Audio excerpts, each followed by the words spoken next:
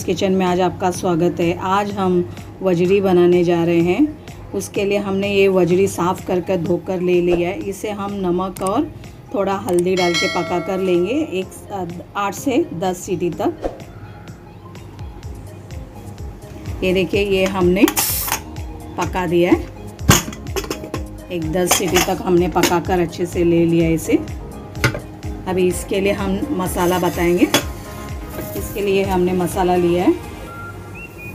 दो बेड़ की मिर्ची है, तीन तीखी मिर्ची है, एक चम्मच सौफ है, दालचीनी, डेढ़ इंच है, लवंग तीन, जायत्री, एक छोटा टुकड़ा, आधा चक्री फूल, दस से पंद्रह काली मिरी, जीरा एक छोटा चम्मच, धनिया एक चम्मच, पंद्रह से बीस लहसुन की कलियाँ हैं और ये डेढ़ इंच अदरक का टुकड़ा।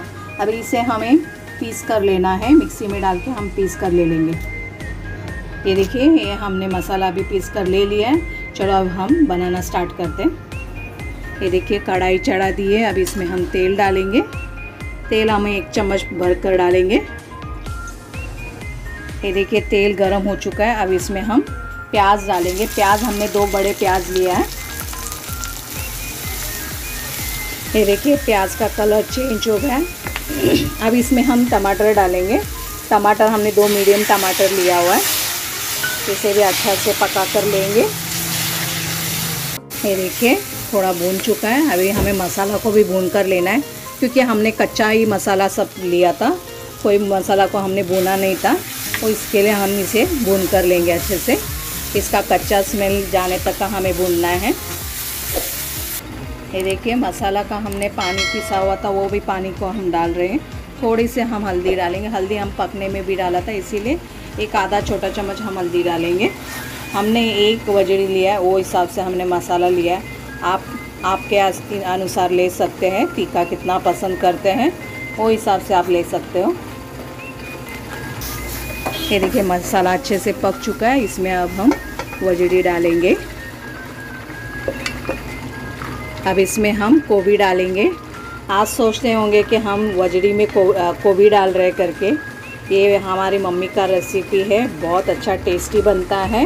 इसके लिए हम हम बना के दिखा रहे हैं आपको। आप ज़रूर ट्राई कीजिए बहुत अच्छा बढ़िया बनता है। इसे हम सूखा ही बनाएँगे। हमने एक वजड़ी के लिए पाव किलो गोभी का इस्तेमाल किया है। अभी हम आधा ही चम्मच नमक डालेंगे क्योंकि ऑलरेडी हमने नमक, कांदा, प्याज भूनने के लिए भी पानी डाल, नमक डाले थे। अभी पानी हम डालेंगे। एक छोटा सा ही ग्लास के हिसाब से, ज़्यादा नहीं डालेंगे। अभी इसे हम ढककर पकाने के लिए छोड़ देंगे। ये देखिए, अभी बन चुका है। अब हम गैस बंद करेंगे और सर्व करेंगे। ये देखिए। हमारा वजरी बना बना के हमने रेडी कर दिया है। बहुत अच्छा टेस्टी और बढ़िया बनता है। आप ज़रूर ट्राई कीजिए। बहुत अच्छा लगेगा। आप चपाती के साथ राइस के साथ भी आप खा सकते हो। और हमें कमेंट बॉक्स में बताइए कि आपको ये रेसिपी कैसी लगी। सिंपल सी है, मगर बहुत बढ़िया टेस्टी लगता है। हमारे माँ, हमारी माँ हमेशा बना, बनाती हमें। हमारे लिए बहुत अच्छा सा बनाती है गोभी डाल के। ये पहली बार हम बता रहे हैं आपको ये रेसिपी अगर ये आपको रेसिपी अच्छी लगी रहेगी तो लाइक कीजिए शेयर कीजिए और सब्सक्राइब कीजिए और बेल आइकन को प्रेस कीजिए ताकि हमारे आने वाली पहली वीडियो आप तक पहुँच सके। Thank you bye take care